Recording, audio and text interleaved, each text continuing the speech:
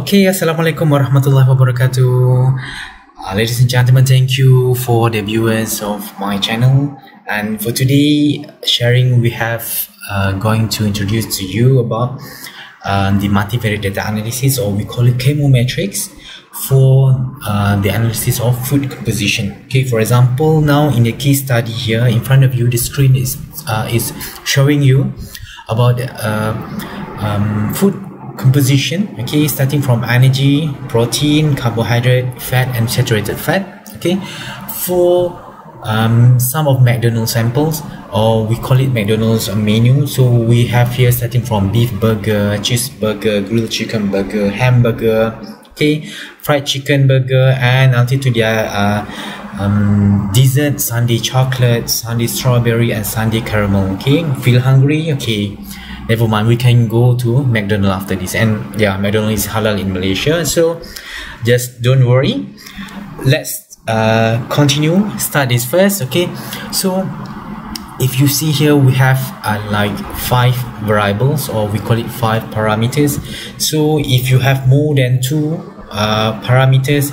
Generally if you want to do some analysis we can start uh, using multivariate data analysis software um, to perform the multivariate uh, analysis of these variables. So the software that I have here is Excel but uh, with uh, an add-ons we call it XLStat okay you can uh, google to the, uh, to www.xlstat.com yeah? so from there you can download uh, this uh, XLStat and as a trial it can it give you a 14 days trial.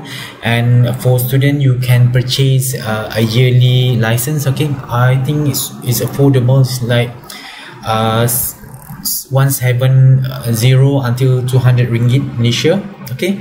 It's like 50 US dollar. So you can have a uh, this add-ons to your Excel. So compared to other softwares this is uh, quite convenient yeah for me but i'm not so sure about others. So for this XLStat, they offers a, a, a variety of uh, features okay data analysis that you can do okay?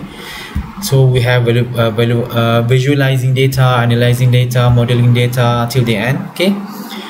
You can have a trial version and then you can uh, examine on your own. Okay so for today we can go uh, to use principal component analysis. So it is there principal component analysis for this uh, sharing. Okay so generally before we start any multivariate analysis uh, analysis there is a suggestion that uh, the data should be uh, standardized or normalized.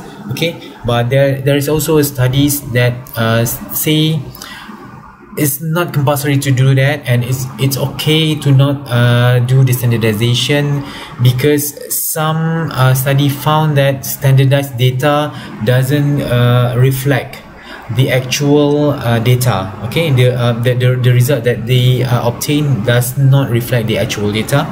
So that's depend on your preference but in this XLStat they have their built-in uh, standardization or normalization. So we just click and then I just want to show you we want to show you uh, what are the results looks like okay?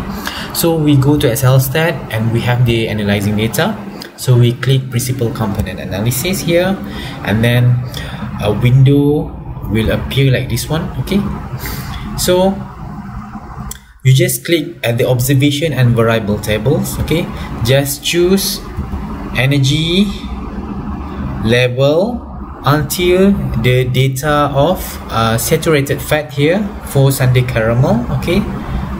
And then at the observation levels here you just click the McDonald menu starting from the label okay? Since we choose uh, to uh, highlight the labels uh, themselves so we have to click yeah tick variable labels as well here. And then for the PCA type choose correlation or uh, of Pearson for the XLStat uh, there are uh, three ways uh, of PCA we have covariance we have correlation Spearman but we don't discuss in this video um, uh, for now. But for the purpose of sharing uh, and want to know about the result of the PCA we focus on correlation of Pearson okay and then if you go to options this is what I told you about standardization. The software already has a built-in standardization menu so we just click okay? Uh, n minus 1 why we choose n minus 1 not n okay? N if you have a lot of data which really really resembles uh, or represent the population. But since the data that we have is not much okay? So it's actually uh, we call it a sample data. So this sample data uh, we appoint them as a representative for the whole population. So because of that because this is a sample data so that's why we choose n minus 1 okay? And then for supp uh, supplementary data tab you just uh, leave it okay for data options okay? Um, the concern is about the missing data okay? Some data uh, you can see that they they have a, a, a an unfilled or a vacant uh, data value in the excel uh, cell. So for that case you have to choose remove the observation okay? But for this data it's fulfill complete it's enough it's adequate. So you just uh, leave it like do not accept missing data if uh, missing data is present here. Because if you uh, if the uh, missing data uh, presence the data analysis cannot be executed okay? So that's why it's very uh, critical to examine your data first okay? And then for outputs you just click everything okay? And then for the charts um, the important part is at the biplot okay? You have to click uh, type of biplot choose symmetric biplot and then click ok. Okay and then click ok okay now you can see there is a small window stated uh, that you have the uh, F1 and F2 okay F1 means principal component 1 F2 meaning principal component 2 what is principal component? Okay number of principal component um, is depend on uh, number of your variables. So for this case we have five variables starting from energy into saturated fat. So the principal component analysis the PCA will create a principal component uh, numbers starting from 1 until 5 because we have 5 variables.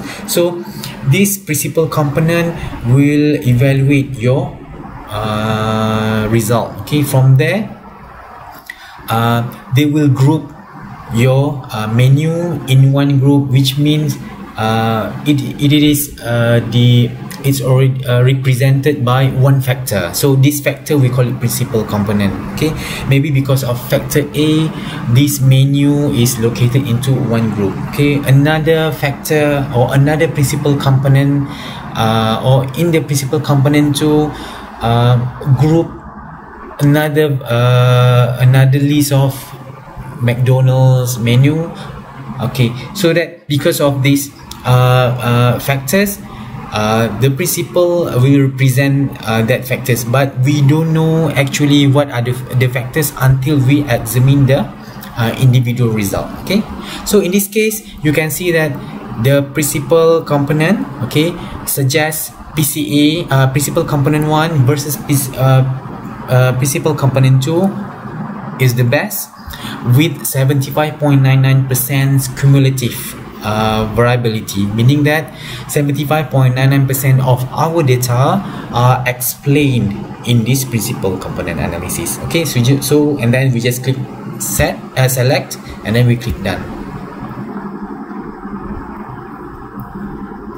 Okay till then we will continue with the next video. Okay see you again and see you later. We will discuss about the PCA result afterwards. Okay thank you very much. Assalamualaikum warahmatullahi wabarakatuh